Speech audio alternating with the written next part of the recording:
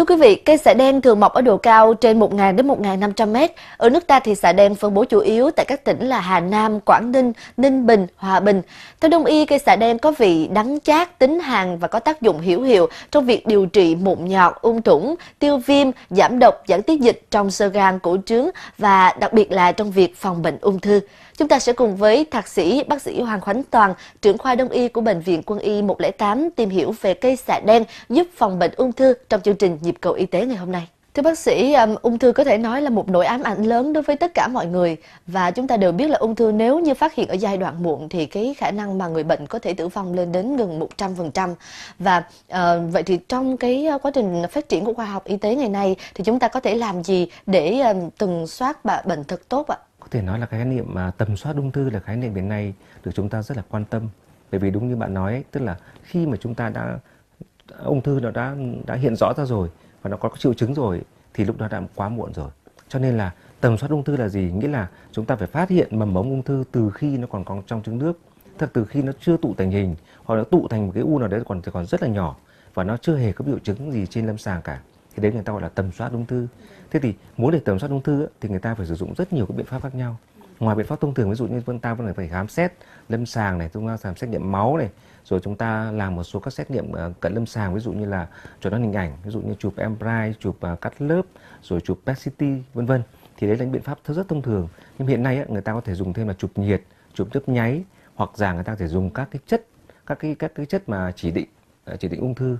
Đấy, những chất đó chúng ta đưa vào trong cơ thể và nó sẽ gắn vào một nơi nào đó khi mà có tế bào ung thư ở đấy thì nghĩa là người ta biết nó ở, ung thư nó được từ dưỡng dạng con tế bào, hoặc giả những cái tổ chức nó còn rất là bé.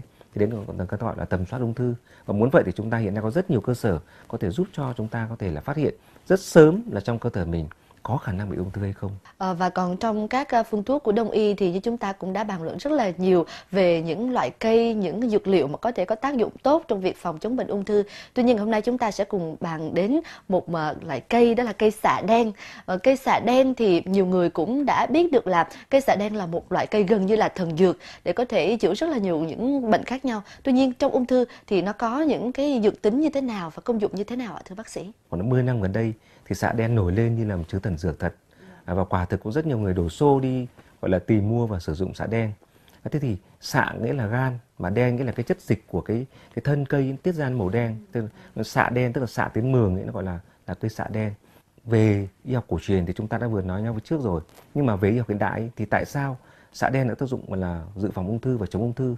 Là vì trong xạ đen nó có ba chất ba chất rất quan trọng. Cái thứ nhất đó là cái flavonoid cái thứ hai đó là saponin triterpenoid và cái thứ ba đó là quinol đây là ba cái hoạt chất chính mà khi người ta chiết xuất ra, người ta mà để trên lâm sàng, là cận lâm sàng, thì người ta thấy rằng là nó có tác dụng rất tốt trong vấn đề là, thứ nhất là tăng cường sức miễn dịch cơ thể, thanh trải gốc tự do. Mà ta biết là gốc tự do thì là nó là nguồn cơn của việc làm cho biến dị các cái ADN ở trong tế bào tự ra gây ra tế bào ung thư. Và đặc biệt nữa là sẽ đen tác dụng là bất hoạt và tiêu diệt tế bào ung thư.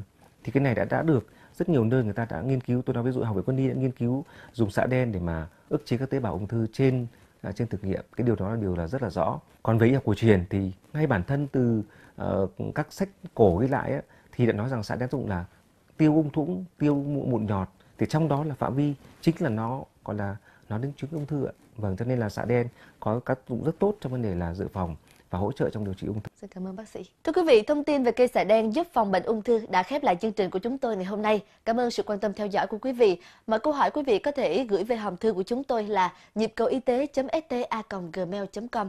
Còn bây giờ, xin chào và hẹn gặp lại.